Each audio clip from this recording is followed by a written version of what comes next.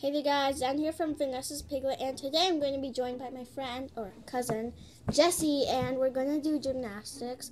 So I think she's going to do a dance and yeah, so let's just get into it. Okay, so the first skill I'm going to be showing you that I can do is the splits.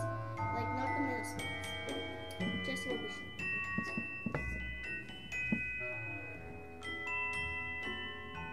So there.